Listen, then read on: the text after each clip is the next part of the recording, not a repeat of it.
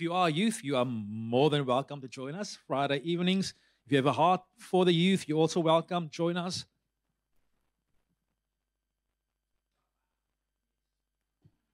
Hoekom moet net julle sit? Ek gaan ook so 'n bietjie sit vanoggend.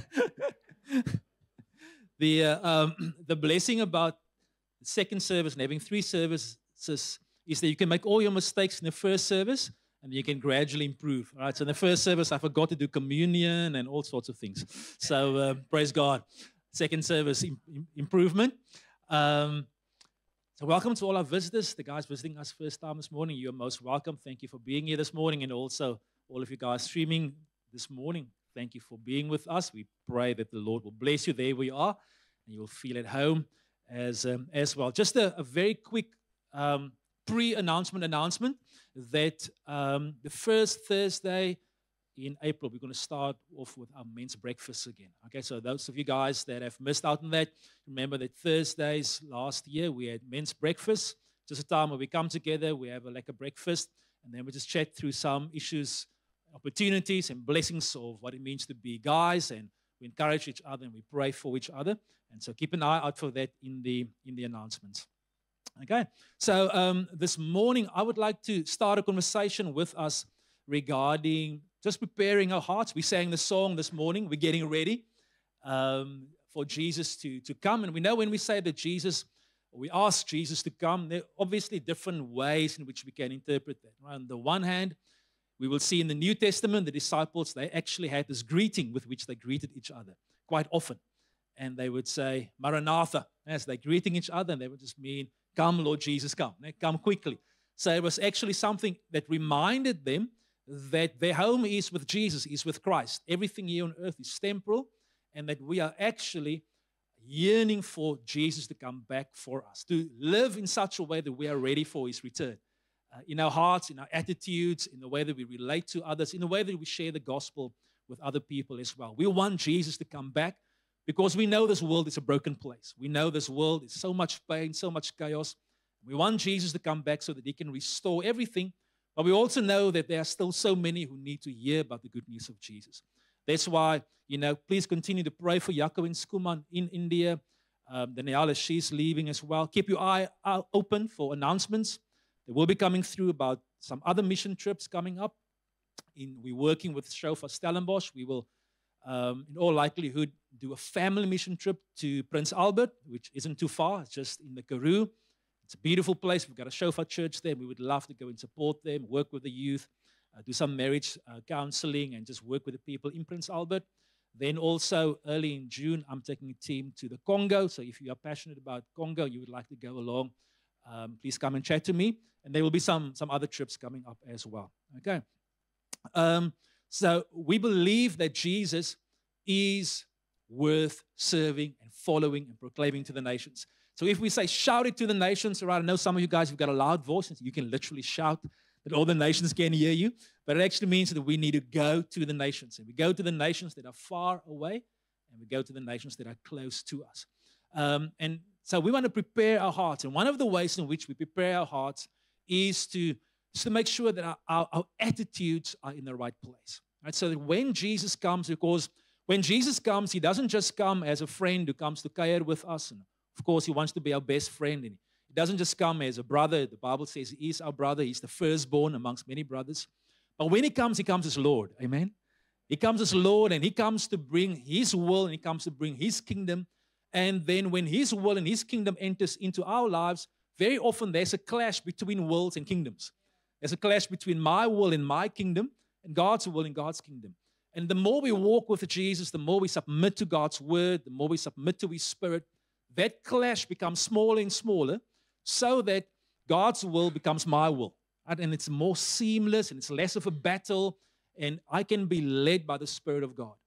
But we know that there's also not just a clash very often between my will, which the Bible calls the flesh, the old man, die, die ou mens wat so dood te gaan wat vir almal vertel wat hy dink en almal 'n stukkie van sy opinie wil gee that that old guy that sometimes wants to go back to old ways of doing things that guy needs to die needs to submit to, to Jesus um, but we also know that around us this this world in which we live doesn't always line up with the will of Jesus if you open up the district mail or you open up the report, you will read a lot of stuff there that we will definitely say, hey, that isn't God's will. That isn't God's kingdom. Right? And so, what we want to do is we want to make sure that we position ourselves so that we are not in conflict with God's kingdom, but we, we are ambassadors of God's kingdom. So that God's kingdom can manifest through us. And so, if somebody meets me at the mall or they play tennis with me and they listen to what I say when I make a double fault, they will see something of, of Jesus. By the way, I, I, I had a lekker game of tennis on Friday. So much fun. Played with my younger brother. It was awesome. I beat him. Hallelujah. Yes, I did. Flesh felt good, but now the flesh is suffering. I injured my knee in the process. All right, so so, so that's why I'm sitting. um, so, yeah, praise God. So I'm going to take us to John 13, verse verse 1. I'm going to read a few verses for us because in this chapter we see a beautiful and a powerful demonstration of God's kingdom. Um, and when we think of God's kingdom and when we think of God, let your will be done, let your kingdom come, I don't know what comes to your mind when you think of God's kingdom coming, and especially God's kingdom coming in power. And I know there will be many things we can think of. Uh, because we look at Jesus in the New Testament, we see how he went about healing all who were sick and oppressed of the devil. We, we, we see how he, he, he would cast demons out of people one stage, thousands of them into, into a bunch of pigs, raising up people from the dead. So, so there's a lot of things which Jesus did that demonstrated the kingdom of God. But there's actually something very powerful as well that Jesus demonstrated to us and that he wants us to follow.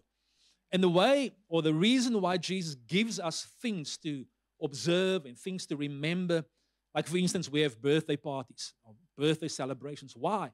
Because it communicates a value. It communicates that I haven't forgotten about you, it communicates that I value you, you are precious to me. Uh, same with anniversaries and things like that, because it's not so much about the event but it is about what it communicates. So that's why something like Easter, Easter weekend, that we will celebrate, is important because it reminds us of what Jesus has come to do for us. So I want to encourage you to not just look at Easter weekend as a like a long weekend, praise God for long weekends, um, and a time to just spend with the family and go for nice hikes and swimming in the mountain or whatever it is that you do on Easter weekend but to really slow down a little bit over these next few weeks. We've got two weeks left before we get to Easter. And to think about Jesus' life. You know, it's fascinating that the Gospels dedicate about a third of the whole Gospel narrative in Mark, or Matthew, Mark, Luke, and John. About a third of that is spent on the last seven days of Jesus' life. Only two Gospels mention Jesus' birth, and most of them, just a couple of pages on his resurrection. But a, whole, a third of it is dedicated to the last few days of Jesus' life. Now, the last few days of Jesus' life actually took place in the first month of the Jewish calendar, the month of Nisan. Okay? So, around about the 14th or the 15th or so of Nisan, which would be, um, it, it varies from year to year, March, April. So, I was thinking about this and I was thinking about for Jesus to sit down at the beginning of his new year. Jesus had a New Year's resolution. And his New Year resolution was that he was going to die for us. I don't know what your New Year's resolution was, whether it included dying. hopefully, it didn't. Here you are, alive. But hopefully, it included dying to the flesh. hopefully, it included denying something that I genuinely just want so that Christ can actually be glorified through me. And I was thinking about my own, own New Year's resolutions. And I realized how easy it is to have my New Year's resolutions be shaped by the world around me. And it's always about being faster, being stronger, being healthier, being more successful, being more effective, procrastinating less, and all of those wonderful things which are awesome and, and great. But I believe that God is actually wanting to hold before us as a church and as his people a important value which at one stage we as Shofar actually really celebrated and we really had it as part of our culture. But I must be honest, we, we slipped away from that a little bit. Okay, and I, I'm trusting God that we'll be able to bring that back and we will be able to be consistent in it and we will be able to demonstrate what Jesus wants us to demonstrate through that. So, having said all of that, let me read this. I'm going to read the whole passage for us and then dig into a couple of verses.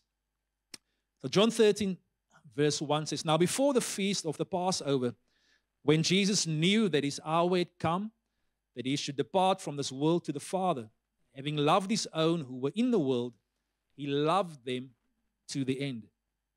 And supper being ended, the devil, having already put it into the heart of Judas Iscariot, Simon's son, it's not Simon Peter, but another Simon, to betray him, Jesus, knowing that the Father had given all things into his hands, and that he had come from God and was going to God, rose from supper and laid aside his garments, took a towel, and girded himself.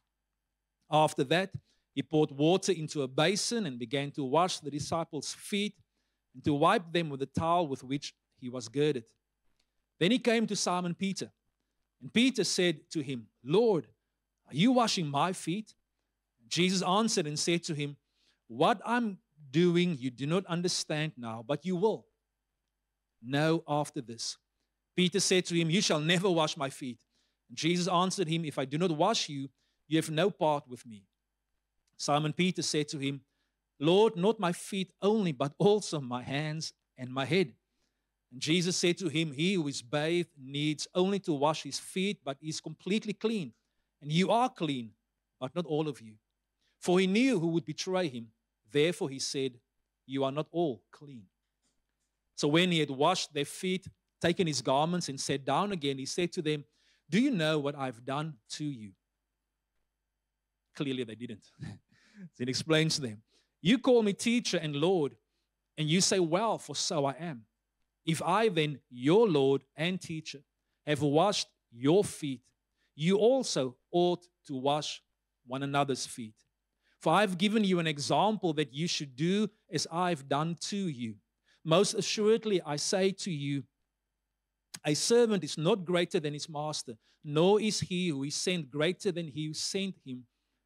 If you know these things, blessed are you if you do them. It's a very powerful verse, isn't it? Verse 17. If you know these things, blessed are you if you do them. Now, the church has received many what we call sacraments from the Lord to observe. Um, one of them is communion, and please, the staff and people must remind me of the communion at the end. The other one is baptism. We celebrated Shanley's baptism. Washing of feet really is one of those powerful, unequivocal ones that Jesus also gave us. And Jesus says, If I, then your Lord and teacher, have washed your feet, you also ought to wash one another's feet. Now, I've read a few commentaries, and it is amazing how we try to sort of rationalize why we're not doing this. And obviously, there's a heart behind it. The heart behind this, I believe, is not so much to get caught up in the physical act of washing feet only. But I do think that it is probably not true to Scripture not to say that washing each other's feet need to include somewhere down the line some sort of physical manifestation. That Jesus gives us an example. And he says, For I've given you this example that you should do as I've done to you. How many of you, well, you don't have to put up your hand, but how many of you are comfortable with washing people's feet? Maybe a question attached to that is how many of you are comfortable having your feet washed by others? Uh, I go to a place here around the corner called Just Men where I cut my hair. But I'm honest, I'm not there for the haircut so much as the hair or head massage afterwards. Yes, dis lekker. Nou ek weet vir baie van julle ouens dat doen dit nog glad nie vir julle nee en julle like don't touch my head. Met sommige ouens raak heeltemal. Oh, maar dis lekker. Go there and your head gets massaged and it just But all of us are different. And some of us we like physical touch, others of us we don't like it.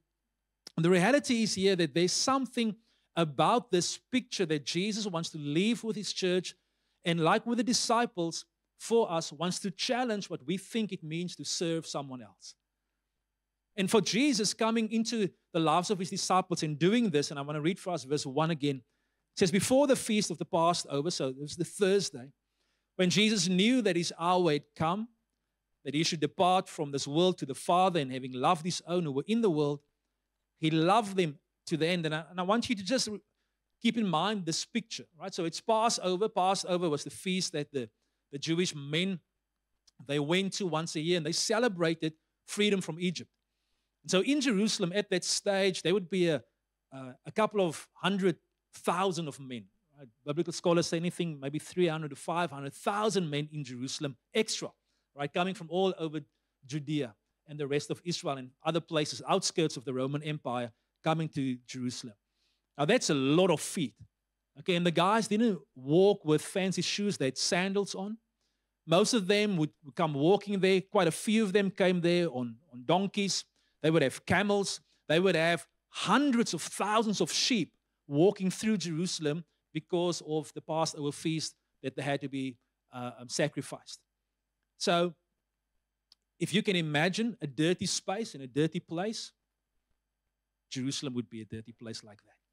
Right? So these guys have walked through this and they come into this, into this space and they're sitting there with, with dirty feet, right? This house is a house that Jesus had previously had asked someone to make his house available so they could come and they can have the meal there. And Jesus having this feast, knowing that this would be the last meal he would have on earth, knowing that very soon he would come up against the might of the Roman Empire and the might of the Pharisaical religious system. So all of these things are happening, right? So there's political turmoil, there's political oppression, a lot of violence politically speaking. There's religious intolerance towards Jesus. Like Mike rightfully said, the Pharisees hated him. He had previously just raised Lazarus from the dead, and that's when they actually plotted to kill both Jesus and Lazarus. You can go and read the story. It actually says the Pharisees wanted to kill Lazarus as well. Jesus raises him from the dead, and they're like, Now you're going to die again, man. How dare you be alive? So they hated what Jesus did. Then Jesus goes into the temple and he casts out a lot of people who were selling stuff in the temple. So he's public enemy number one. Okay, that's pressure, knowing that there's probably in our in our language there's a, um, a death warrant out for you. Okay, there's some gangsters out to get you if you were to live in some of our neighborhoods. So that's where Jesus is. At the same time, in this group of friends that he's been walking with for three years, these guys are having secret conversations around who is the most important. One day when we get to heaven, who's going to sit next to Jesus? They're having arguments amongst themselves about wie is die dik ding? Wie is die grootste, beste ou daar tussen hulle almal? That's the kind of conversations they're having with Jesus after he has walked with them for 3 years. Now I don't know about you, but if I knew that my friends that I've discipled and I've poured my life, if I knew that you guys are sitting here, you having arguments with each other about who's the best and the most important, yes, guys, that would be sad. That would really break my heart. If I were to be in a space and I would know that the government is going to come down on us, I would be maybe a little bit, if I would have knew that t- tomorrow they're going to shut us down, I would probably not be so lekker rustig sitting here on this chair, just chilling. But that's what happened. Furthermore, within that very same meeting, there's one guy who's plotting to betray Jesus. One of his very best friends is scheming and conniving, and he has already sold himself and he sold Jesus out to the Pharisees for 30 pieces of silver. And Jesus has all of that pressure. This world is filled with pressure. Amen? There's, you're probably not going to be anywhere where there's no pressure. And sometimes we feel that the best thing I can do is to escape this pressure and get to a space where there's less pressure, and then I'm going to be amazing. But that's not the gospel message. The gospel message is that in spite of external pressure, relational pressure, spiritual pressure, there is a way in which we can live where we are led by the Spirit of God and not by our circumstances. And Jesus demonstrates this to us so powerfully. And why could he do that? He could do that because the Bible says he knew that his hour had come. In other words, he knew his purpose. He knew that his purpose was to glorify God the Father. He knew that he was, in actual fact, he was born to die. He knew his purpose. I've discovered that one of the greatest causes of stress for me and uncertainty for me is if I do not know my purpose. If I do not know why God has placed me here on the face of this earth, then I can be rattled by circumstances.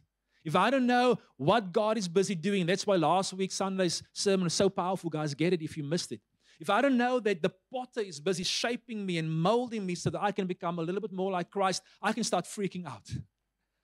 I can start panicking. But Jesus knew that his purpose was to lay down his life for us. And then it says in the second part of that verse that he loved his own who were in the world and he loved them to the end. And I looked at that and I'm like, thank you, God, that your love is not dependent upon the object of your love.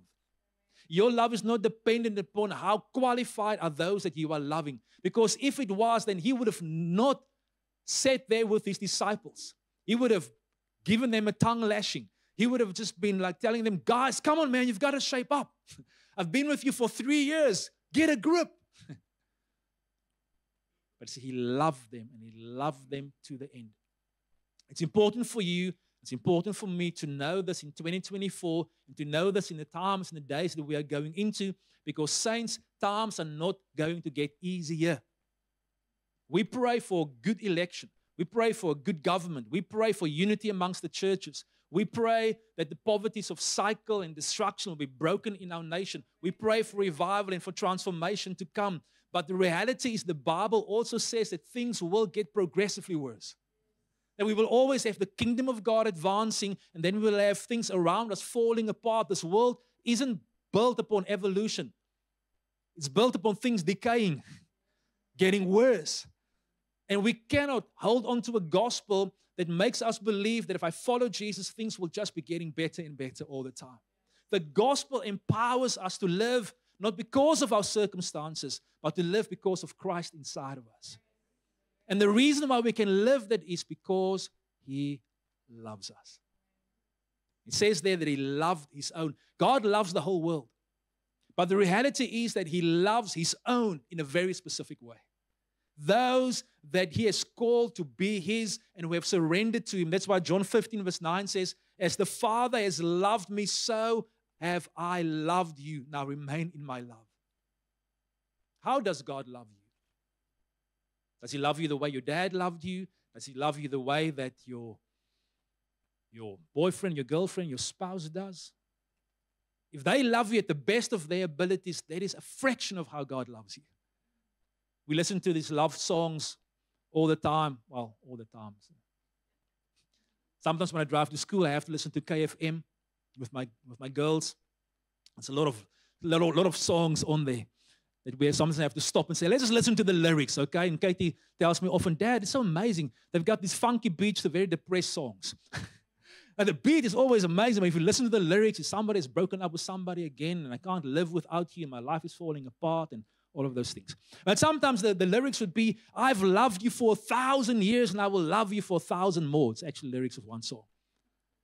Nonsense. Nobody loves like that, humanly speaking. We can try, but the only person that loves that way and more unconditionally is God.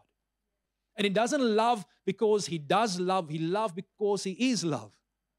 Again, the Bible says that he loved his own. And so I want us to remember we are his own. We belong to him. We've been bought by the blood of Jesus. You are not your culture. You are not your family background. You are not your addictions. You are not your fears. You're not your sin. You're not your shame. You're not your bank balance. You're not the car you drive or don't drive, or the house you live in, or the spouse that you are married to. You are not your own. You are God's, sealed with the blood of Jesus and given the Holy Spirit as a guarantee. So, how does that make you feel? When you think, thank you. yes. You think about it.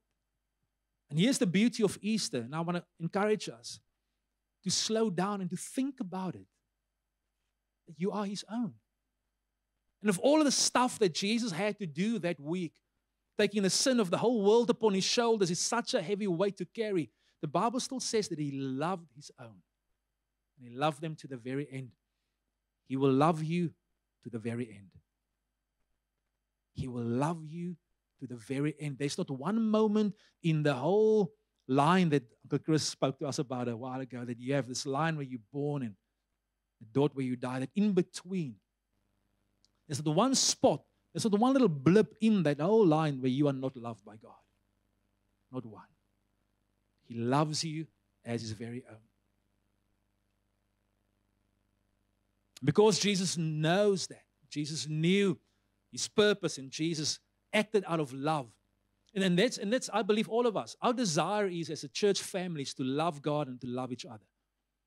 But I have I have to be honest that very often, in spite of my best intentions to love my family, love my wife, love my kids, love the church, I don't always act loving. I sometimes do, and most of the time I do, but I sometimes don't. And I very often don't because I just haven't slept well, slept enough. And then I say things that I, I wish I didn't say. Or sometimes it's because I've allowed things to crop up on the inside and then eventually they spill over. So I'm going to put up my hand to be the first person to say, I can grow in my capacity to love. I can grow not so much in what I feel in love, but the way that I act in love. Because isn't that the reality of this gospel message? And the reality of life really is this it's not so much only about what you feel, but it is about what you do with what you feel. And so Jesus demonstrates to us that loving his own what, what does that mean? And for him, it was something practical and it was something physical. And that is why the washing of feet is something so offensive and so uncomfortable, and I believe yet so liberating as well. Because it is a way to demonstrate what I feel inside. So it says supper being ended. And so John just sneaks us in there. So they're having this meal. It's a lot of pressure. Okay, they're standing together as a, as a group. Jesus told them that he's going to die in Jerusalem. They didn't want to believe him. It's a lot of pressure, right? From the outside, pressure from the inside. The devil has found an avenue into, into Judas's heart. In other places, uh, Jesus or the Bible describes us that Judas was the guy that was in charge of the treasury, right? The money. He, he, he collected the offering that people brought. And every so often, he would dip his hand in the offering bag and he would take a little bit of money for himself. He stole from the offering. He was also the guy that got very worked up when the, the woman came and anointed Jesus' feet with very expensive perfume. And he was like, This perfume should have been used for the poor. So there's a little bit of a hypocrisy going on there. So there was a greed inside of his heart. And the devil uses that to get into his heart and he betrays Jesus. And, and, and, and verse 3 says, Jesus, knowing that the Father had given all things into his hands and that he had come from God, and he was going to God. Rose from supper, laid aside his garments, and took a towel and girded himself.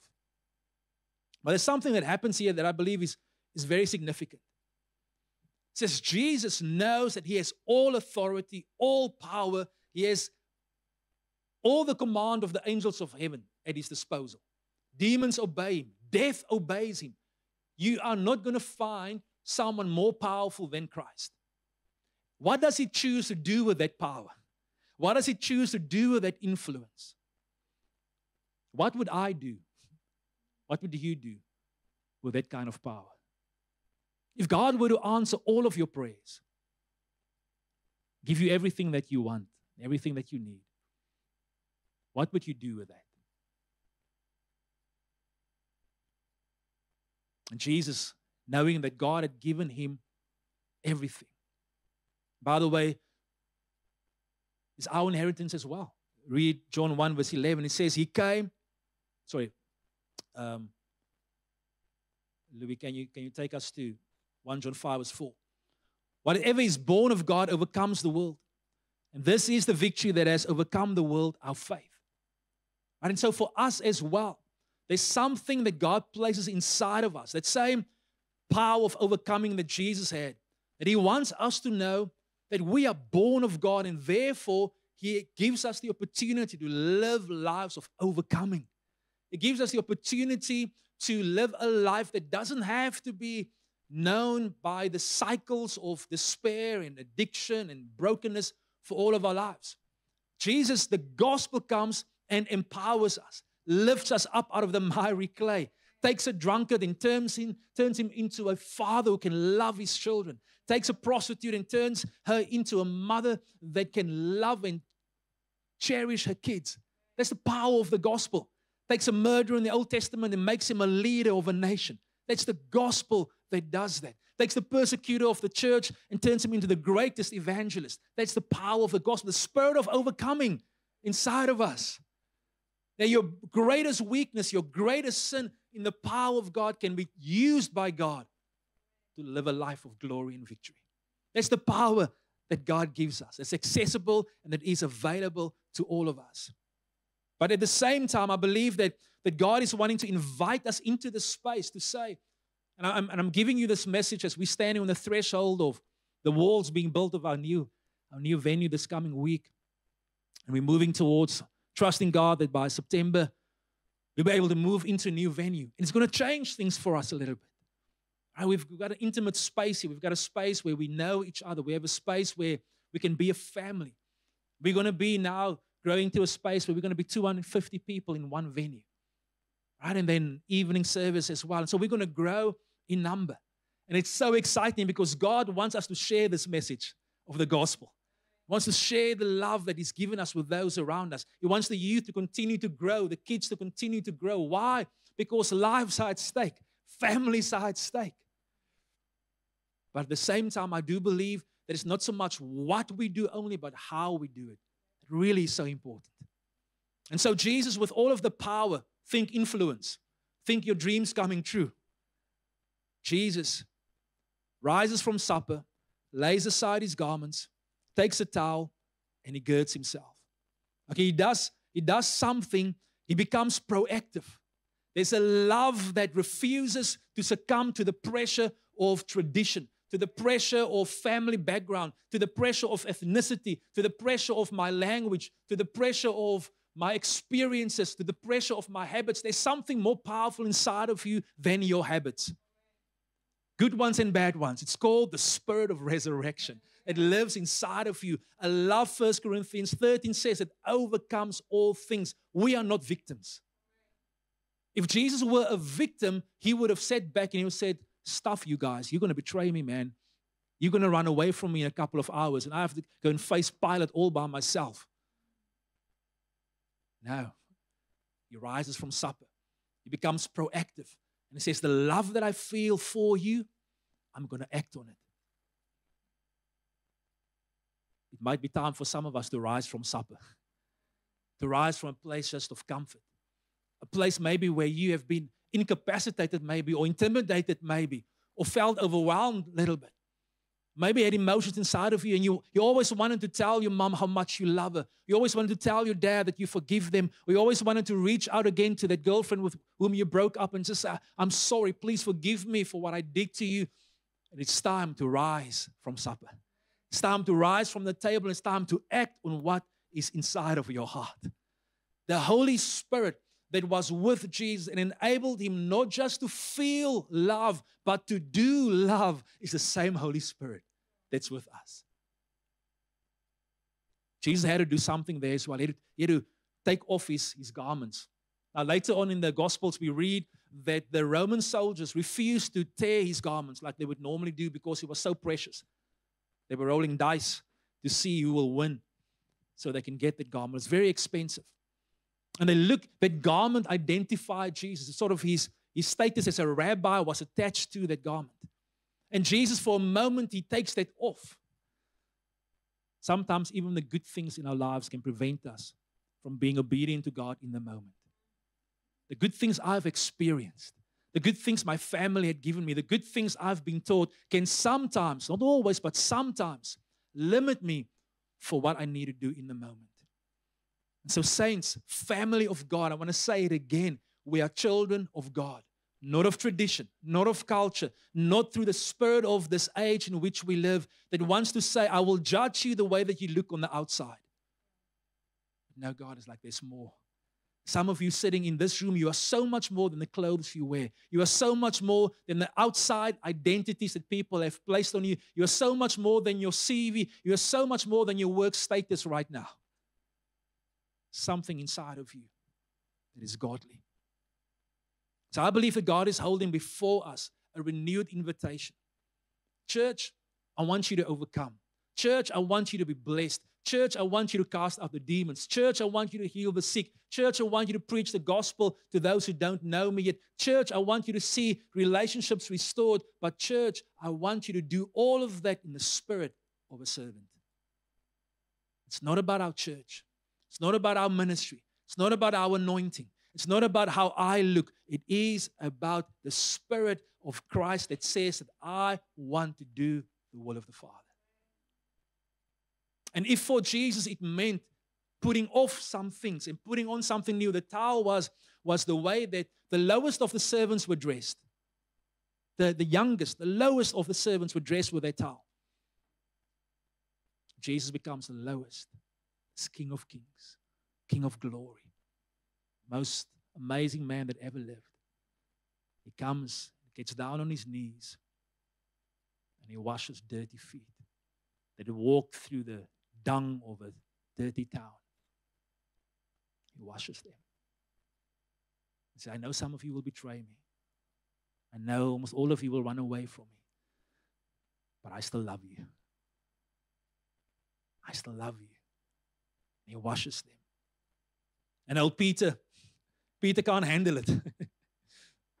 Peter begins to just like, Lord, are you washing my feet? And for some of us, it's a challenge to be loved. Some of us, it's a challenge to think that the King of the universe would just want you to become a little bit quiet over these next two weeks. Stop doing stuff for him. Stop running after new stuff. Stop making new plans to get out of this and get out of that. And just sit for a few moments and uh, allow him to wash your feet. Allow him to speak his word over you. Allow him to tell you how much he loves you, how valuable you are to him, how priceless you are to him. We watched a beautiful, challenging movie last night called Priceless. It's about these two girls that get trafficked into the States from Mexico. And the guy that trafficked them into the States, he, the Lord grips his heart and changes his heart. And so he goes back and he tries to, he tries to buy them back again. And so he goes onto the sites and he starts looking for those pictures of the girls. And he gets to the right pump eventually and he phones and he, and he asks for the price and they give him a price and he says, no, no, no, I'm going to pay, my, I want to, I'm to pay a thousand dollars. It's per hour that you pay. And the guy says, you're crazy. She isn't worth that much. And he says, no, to me, she's priceless. Even thousand dollars is not enough for price tag. Some of us, we carry price tags around here on the inside that people have placed on us. And I believe God is wanting to say to you the price tag that hangs over your life is bought with the blood of Jesus. That's why we celebrate Easter. The blood that was shed for you is the blood that says you are God's. You belong to Him. So old saying says, Can you stand to be blessed? Can you, can you, can you be still enough for God for a couple of moments to just tell you how much He loves you? So maybe for some of you, you need to just go to the Bible and, and just get all the verses that speak of how much God loves you. Record it on your phone and just speak it over yourself over and over again. Sit in God's presence. Allow Him. Put up your hand and ask somebody to pray for you receive again. Peter says to Jesus, Jesus, you can't wash my feet.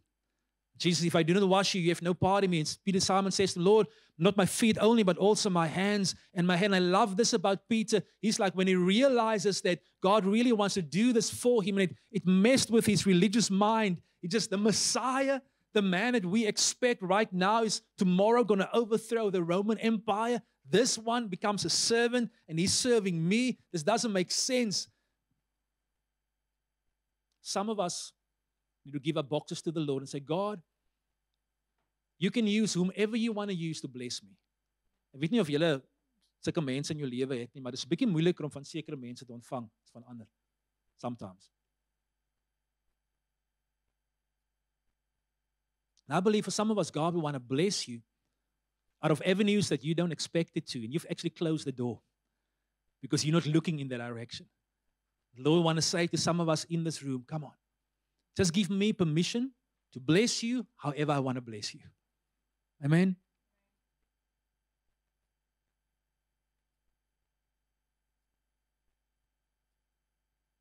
In that room, there were two spirits operating in.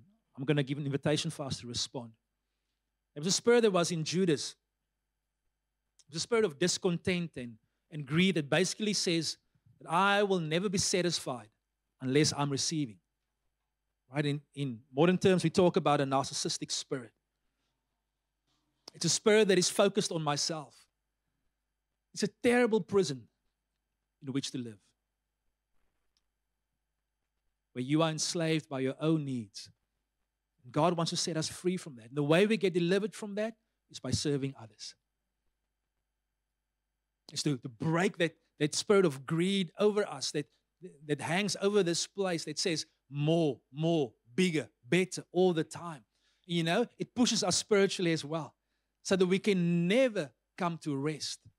We can never just be in front of God. And I believe the Lord is wanting to set us free from that.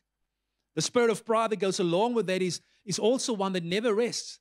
But it rests on the other. The other one is always, give me, give me, give me, give me. I'm never satisfied. I'm never satisfied. The other spirit is, I've got to work, work, work, work, work. I'm never satisfied unless I'm giving. The spirit that Jesus had was a spirit of surrender. I'm just here to do the will of the Father. Even if that will cost me my ego, cost me my comfort, if the will of the Father wants to lead me into freedom, challenges me, I want to go with that. So I want to ask you guys as, as we stand this, this morning that you will commit, please, please stand. Let's commit our week to the Lord.